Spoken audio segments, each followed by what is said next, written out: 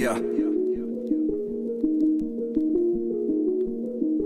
I wake up every morning with my head up in a daze. I'm not sure if I should say this, fuck, I'll say it anyway. Everybody tries to tell me that I'm going through a phase. I don't know if it's a phase, I just wanna feel okay. Yeah. I battle with depression, but the question still remains Is this post traumatic stressing or am I suppressing rage? And my doctor tries to tell me that I'm going through a phase. Yeah, it's not a fucking phase,